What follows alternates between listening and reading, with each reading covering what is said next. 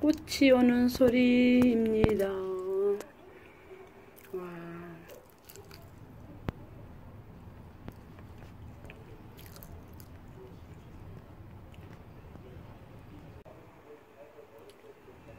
저녁에 몇 시간 후의 결과입니다. 한 몇 시, 한두 시간 정도 흐른 뒤에 지금 이렇게 지금 꽃이 어, 피었는, 피는데요. 아, 꽃 수술이, 꽃 수술이 이거 하나만 활짝 피네요. 아까 이것도 마찬가지. 이것도 그러더니. 요 하나만.